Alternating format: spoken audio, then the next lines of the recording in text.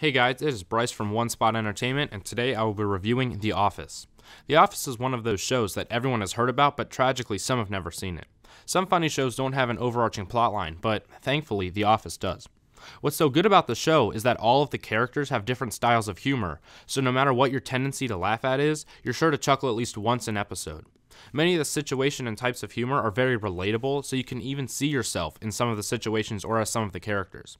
On top of that, Michael Scott has quotes that will have you laughing days after you watch the episode and thinking about in your actual daily life. The ending will leave you empty and in tears, so the only way to get that is by watching every episode leading up to it. The rewatch value is extremely high, so after you finish it once, you can always go back and watch an episode or two without saying, oh, I've already seen this.